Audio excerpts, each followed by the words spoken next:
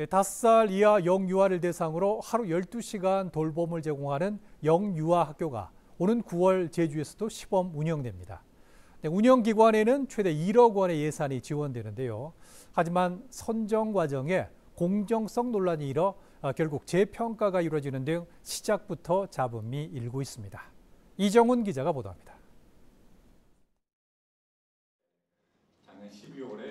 제주도 교육청은 이달 초 보육과 교육, 즉 유보 통합 운영 모델을 찾기 위해 시범 기관을 공개 모집했습니다. 대상은 유치원이나 어린이집 가운데 시범 운영을 희망하는 곳으로 돌봄 시간과 영유아 대비 교사 수, 교육과 보육 프로그램 등을 개선해 오는 9월부터 운영에 들어갑니다. 교육 당국은 제주시와의 심사를 거쳐 시범 사업 참여 대상 6곳을 정부에 추천할 예정이었습니다.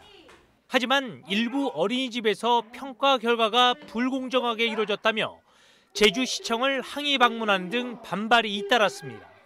조사 결과 유치원과 다른 어린이집 운영 프로그램에 대해서는 특수성을 인정해 만점을 주기로 했는데 제주시가 이를 고려하지 않고 감점을 주는 등 심사 과정에 오류가 확인됐습니다.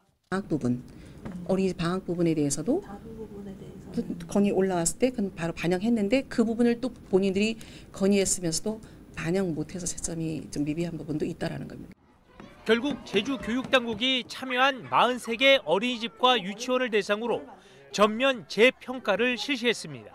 최종 3개 기관을 다시 추천하기로 결정했는데 일부 어린이집이 탈락하고 새로운 시설이 추천 대상에 선정됐습니다.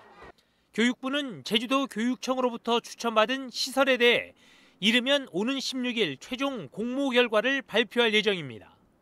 하지만 전면 유보 통합에 앞서 장단점을 분석하기 위한 시범기관 선정부터 공정성 논란을 낳는 등 시작부터 잡음이 일면서 우려의 목소리가 커지고 있습니다.